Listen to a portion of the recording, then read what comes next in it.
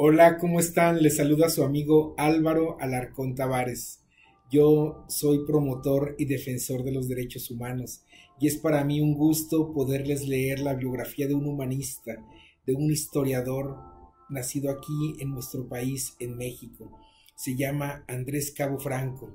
Les recomiendo mucho que lean este libro, que lo compren, que lo adquieran y lo lean los personajes del virreinato. Es una verdadera joya que recopila los personajes más interesantes de esta etapa de nuestro México desde 1517 a 1809. Vamos a leer a Andrés Cabo Franco. Año de 1521, libro primero, en un ameno y espacioso valle, en donde hacen remanso los manantiales que corren de las sierras de que México está cercada, se forman muchos lagos. El bajo está salitroso y por lo mismo más útil a los mexicanos. En el medio de este lago estaba México fundada. Así comienza la historia de México con la llegada de los españoles, al menos la contada por el jesuita Andrés Cabo y que luego continuaría Carlos María de Bustamante, para convertirla en la primera historia de la Nueva España, desde la llegada de los españoles hasta la entrada del ejército trigarante. Andrés Cabo nació en Guadalajara, la capital de la Nueva Galicia, en 1739. Estudió con los jesuitas en el Colegio de Santo Tomás de Aquino, donde obtuvo el grado de bachiller en filosofía, y comenzó el noviciado en el seminario de Tepozotlán en 1758. Como estudiante de teología, asistió al Colegio Máximo de San Pedro y San Pablo y vivió en el Colegio Seminario de San Ildefonso en la Ciudad de México. Ya como sacerdote impartió cátedra en el Seminario de San Ignacio de Puebla y en el Colegio de San Jerónimo de la misma ciudad. En 1764 fue enviado a la misión de la Santísima Trinidad en Nayarit.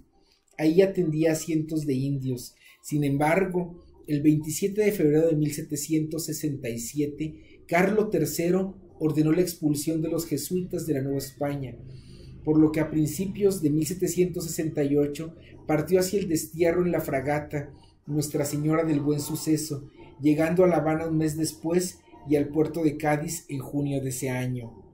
De ahí viajó hacia Roma, con el objetivo de dirigirse con las autoridades eclesiásticas para obtener la licencia que le permitía regresar a su tierra, lo cual nunca sucedió. En 1785, desde la capital italiana, el padre Cabo le propuso al ayuntamiento de la capital novohispana escribir una historia de México. La propuesta fue bien recibida y se le enviaron los libros capitulares de la ciudad con toda la información histórica. Doce años se dedicó a escribir su Mexici Historia, originalmente en latín y traducida después por él mismo como Historia Civil y Política de México. La obra pone énfasis en los acontecimientos de la capital de la Nueva España, ordenados cronológicamente entre 1521 y 1766. Cabo envió el manuscrito a su amigo el padre Pichardo para que lo entregara al ayuntamiento. Sin embargo, el interés había perdido.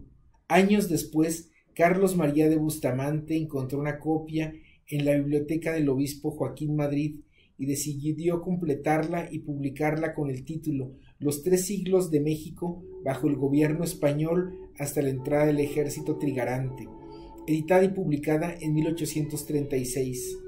En la biblioteca de la Universidad de Texas pueden encontrarse varios de los manuscritos del padre Cabo, incluyendo el texto original en latín que hasta la fecha sigue inédito. Andrés Cabo murió el 23 de octubre de 1803. Esta, como muchas otras historias que incluye el libro Los personajes del virreinato, son de verdad extraordinarias y yo lo recomiendo ampliamente para que lo adquieran y lo lean en esta época que estamos conmemorando nuestra historia de México. Que tengan una excelente tarde. Les saluda su amigo Álvaro Alarcón Tavares. Hasta pronto.